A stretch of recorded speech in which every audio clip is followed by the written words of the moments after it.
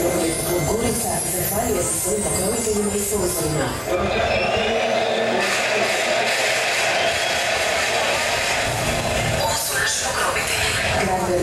Gorica, Zagrebačka županija, Gorica, Disko klub Srce, Zlatan Ibrahim, Tija Špedicije i Prijevoz Zagreb, Kvarner Vijena i Group, Mikrotim Velika Gorica, Metra Computers Velika Gorica, Urbani prostor Zagreb Veliko Polje, Tech Velika Gorica, Rotometal Alati Samobor, Olemplex Zagreb, Vigmar Zagreb, Pfeiffer TTI Čakovec, Hotel Pleso, Arena Centar Zagreb, Javni bilježnik Marko Jurlina, Hok osiguranje Zagreb, Osiguranje Zagreb, Allianz osiguranje Zagreb, Zlatarska radiona Križek, Turković Velika Gorica, Kavo Promet, Sajko Transporti, Autoturist Samobor, Pleso Prijevoz Zagreb.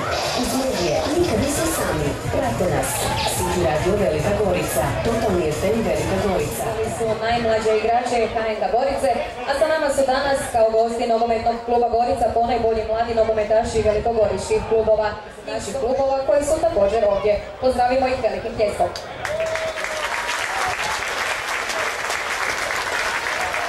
Broj 20 Lukić Andrej, broj 21 Abbas Pahić Semir, broj 22 Perković Marko, broj 24